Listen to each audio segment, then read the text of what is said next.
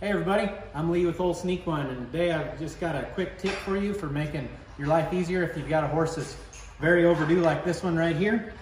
You can tell that this foot is real long and we've already trimmed this one up for a shoe and it's quite a bit shorter if you look at the two. So if you come around, a lot of the issue is that there's just so much foot in your way and as you can tell this whole foot's running off this way but it's just a lot of length. So getting all this sole out is going to really make our lives easier by seeing where things need to go. And if we're trying to knife that out it's going to be hard but if you get a torch it's got a bottle here like that it'll make your life a lot easier. And all this does is soften the foot. You can also use it to harden the foot. You just don't knife anything out. Doesn't take much to make your life a lot easier. You can see how much easier that comes out right there.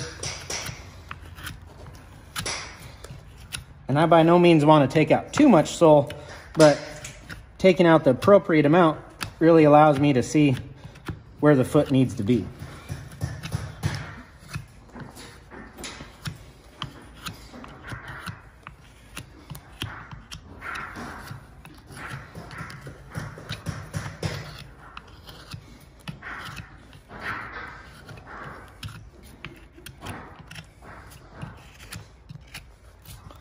So now, as we look, really gives us a clear vision when we cross it like that, that there's a lot going on out here. So, take our handy Mustad nippers here.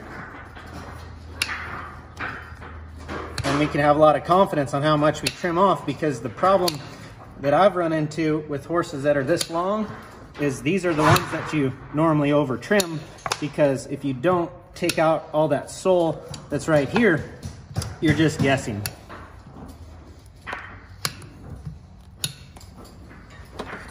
I'm a big fan of the Excel Green Tang Rasp, the Legend Excel.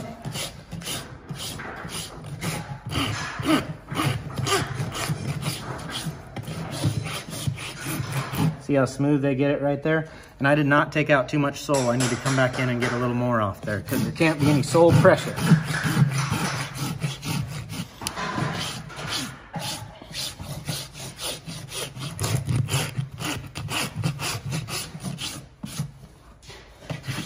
One way to know how much depth you have is to put your rasp across here. You can just see the depth right there. So now you can see the thickness of the hoof wall, the white lines only right there and there's that much. So that's all distortion. So now it just, not as much here, but way more here. So I take off a little bit there. That creates a bevel around the outside.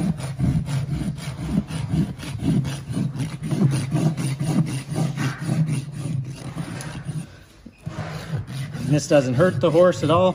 It just removes the distortion. So as you can tell, I'm gathering this foot back up to where it's equal proportions. Now I'll put it on a top stand.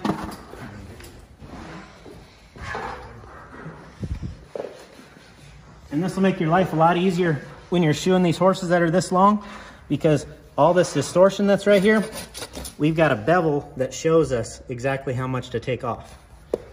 This is also a great method for the certification program.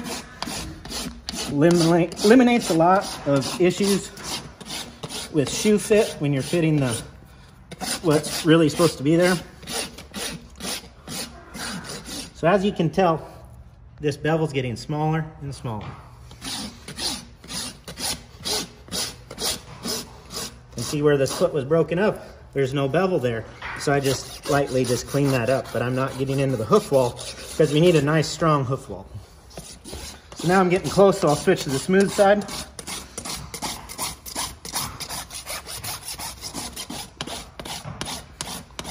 Still takes quite a bit off. Look how smooth that is. Just like glass.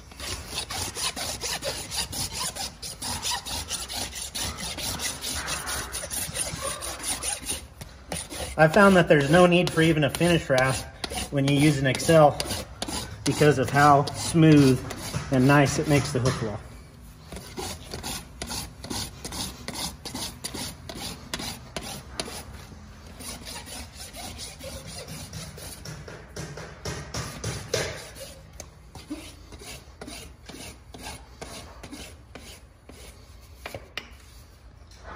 There we go.